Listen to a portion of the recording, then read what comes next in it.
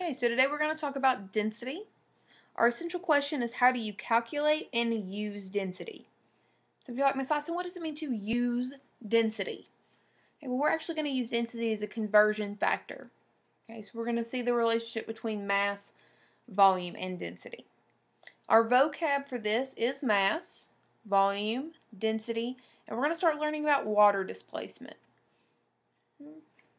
So you should have already made your foldable. Now, unlike some of our other foldables, these aren't just going to go in order, so make sure you're following along as to which tab I am writing under. So we're actually going to start by writing under this density tab, okay, since that's what this lesson's all about. Put my calculator there. So the first thing is, what is density? Mm-hmm. Density is a property of solids as well as liquids and even gases. Okay, and it's the measure of how tightly the material is packed together.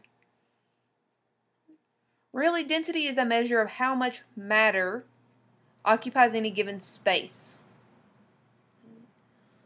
That's why when we write the equation, we say density equals mass over volume. My sister used to say density equals heart because the M with the B at the bottom kind of made her think of a heart. And what this is telling us is that we are finding out how tightly the material is packed together.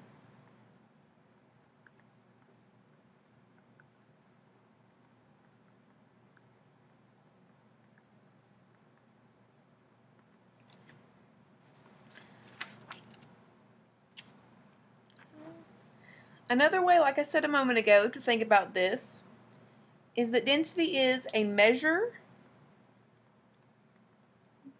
Skip this up. Okay. Is a measure of how much matter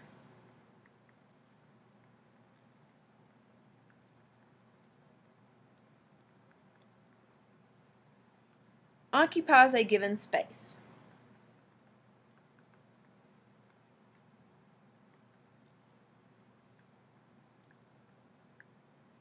Remember, if you have trouble reading my handwriting or anything, pull up that PowerPoint. Okay, you can watch the video and look at the PowerPoint at the same time. So this is kind of the basics about density. So let's dig a little bit deeper into what in the world does that actually mean. So the next tab I'm going to go to is mass. It's right here at the top. Open it up. So first, I said mass was one of our vocab words for this lesson. Excuse me. And mass is a measure of how much matter an object has. So mass equals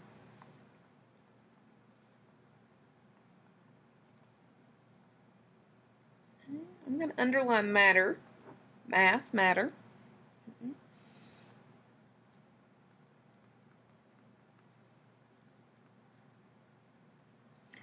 We measure mass in grams.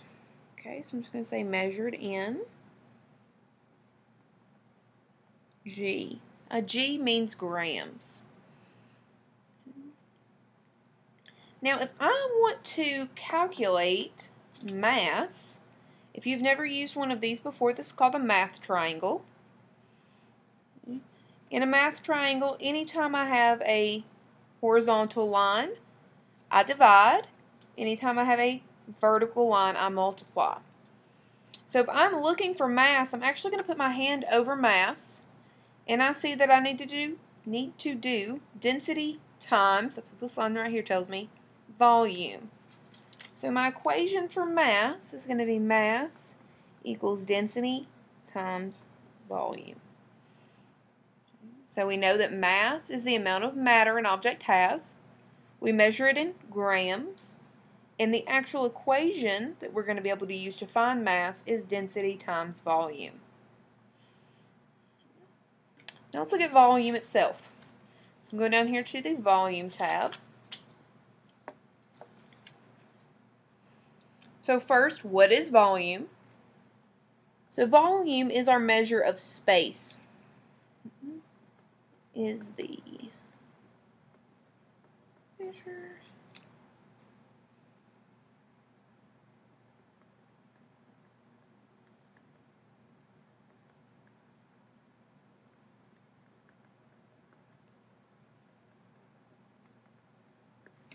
I'm going to underline space because that's our main word for that one. Volume is space. There are two ways we can measure volume. Okay, lots of times we will measure it in liquids. And then we're looking at liters. Okay.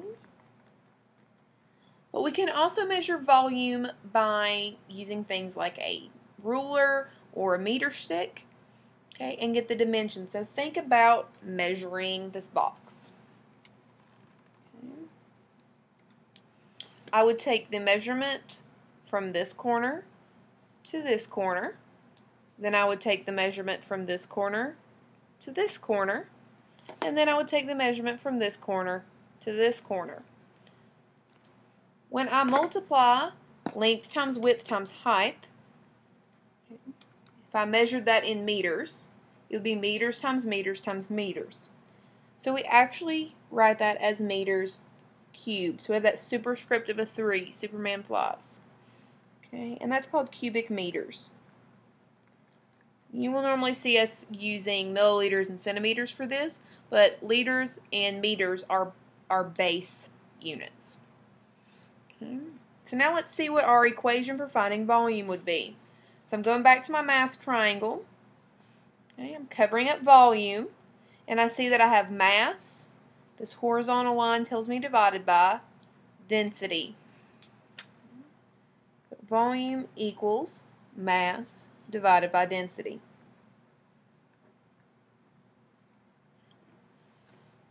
So when I'm looking at density, I'm talking about how tightly packed is that material. How much matter occupies a given space. So notice down here when I'm talking about matter in space, I am talking about mass, because that is matter, and I'm talking about volume because that is space. So now Now let's look at this corner. Using density to convert between mass and volume. So this is that use density part that we talked about for our essential question. I have put two example problems under here, so let's work this top one first. So it says a pure copper penny has a mass of 3.1 grams and a density of 8.93 grams per centimeter cubed. What is the volume? So the very first thing I do is write down my variables. I know I'm going to have density, I'm going to have mass, and I'm going to have volume. In my problem, it gave me my mass of 33.1 grams. Make sure I'm including my unit here. And it told me I had a density of, whoops, of 8.93 grams per centimeter cubed. So what I don't know is volume, so I'm going to put an X right there. Now I'm solving for volume, so if I look at my triangle and cover up volume, I know that I need to do mass divided by density. So volume equals mass divided by density. Volume equals, I have my mass right here, my density right here.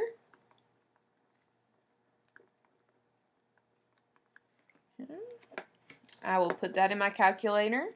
So 3.1 divided by 8.93. And I'm going to use two decimals, so I'm going to say that my volume is 0.35. Now I have grams here and grams there, so those cancel. So I'm going to have 0.35 centimeters cubed. Hmm. So let's look at another example. An aluminum cube has a volume of 27.6 milliliters. I'm just going to go ahead and underline that. If the density is 2.70 grams per milliliter, underline that, what is the mass of the sample? So again, I'm going to say density, mass, volume.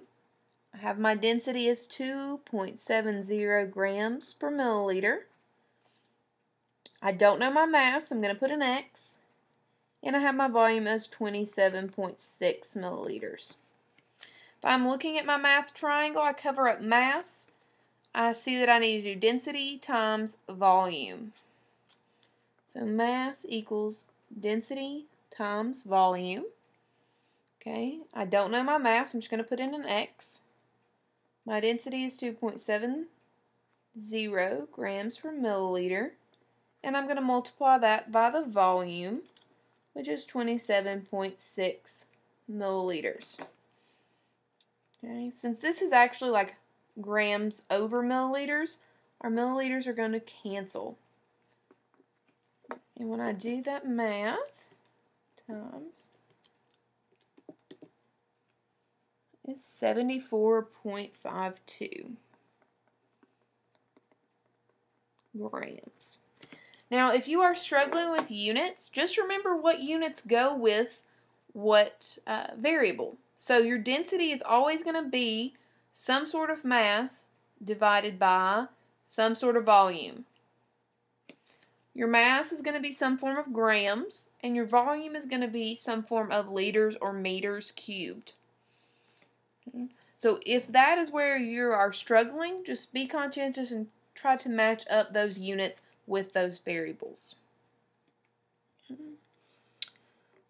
Now let's look at that water displacement. So I am down here at sample problem number one, calculating density using water displacement.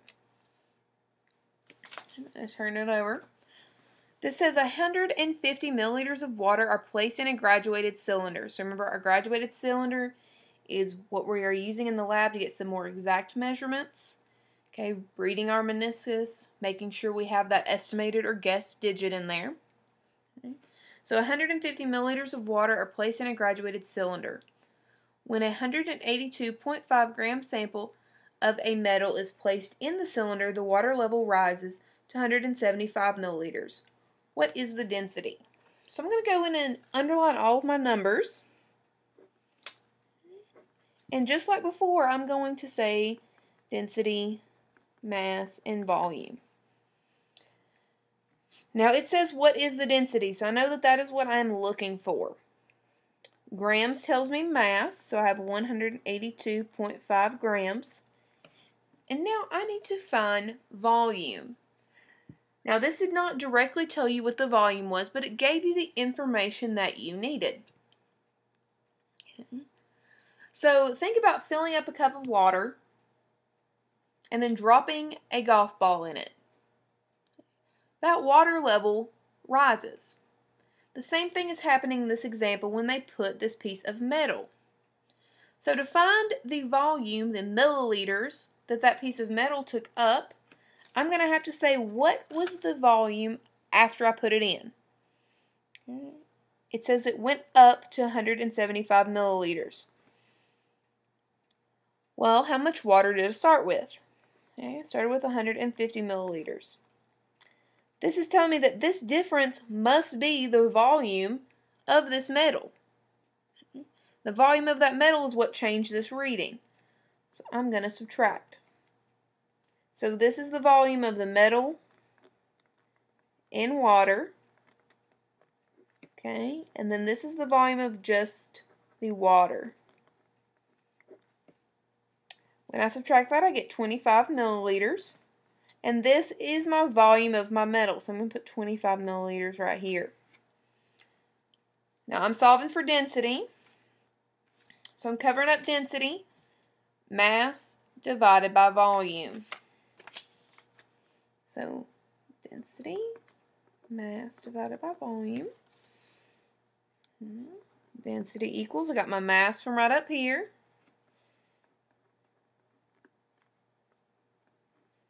And I got my volume from right there. When I do that math,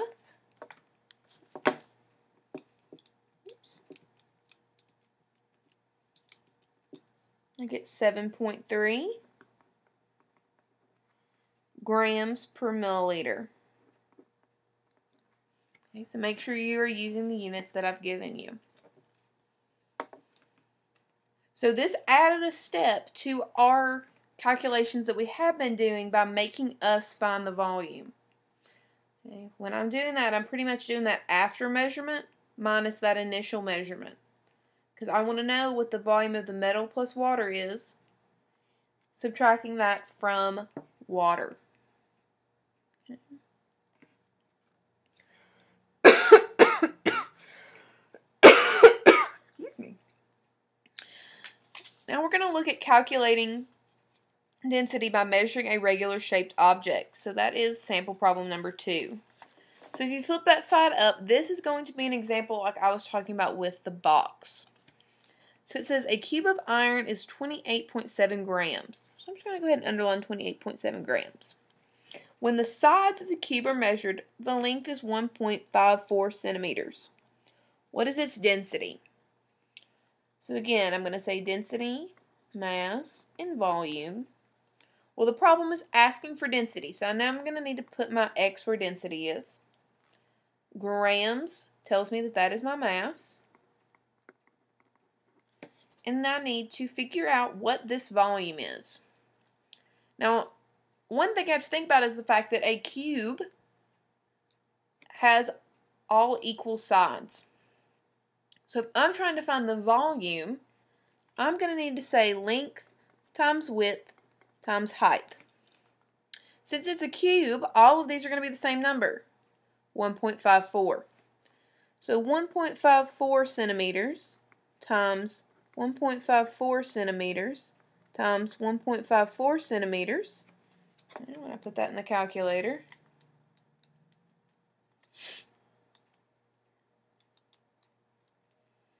is 3.65. We'll round that to two decimals. Centimeter times centimeter times centimeter is centimeters cubed. And that is my volume. So 3.65 centimeters cubed.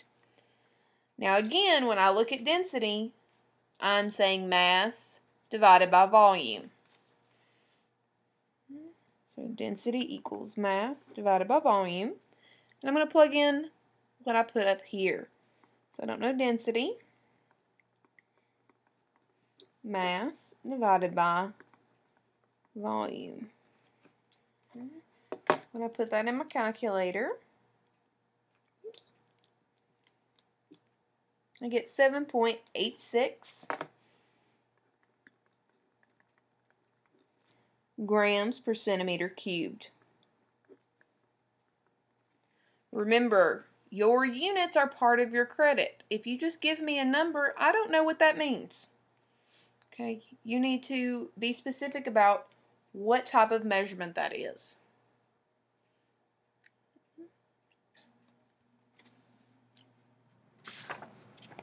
So let's look at density graph. Got myself turned around. So your all should have printed a little bit clearer. Okay, this is mass versus volume of copper. Mass is on our y-axis, volume is on our x. You see that it gave you units, so mass in grams, volume in cubic centimeters, so that's the centimeters cubed that we were just talking about. And I'm just going to draw this in because hopefully yours showed up a little bit clearer than this one did. You should have a line that looks something like that. The biggest takeaway from this is that as my volume increases, my mass also increases. You'd be Like, that's weird, Miss Ison. It's for this one key fact density is a constant. So what that means is that I could have a piece of lead the size of a pea, or I could have a piece of lead the size of a semi truck. The density of that lead will still be the same. As volume increases, so does mass. Density is a constant. It does not matter how much you have. If you have any other questions, be sure to come and talk to me. Uh, you can check out the PowerPoint and the practice opportunities on campus.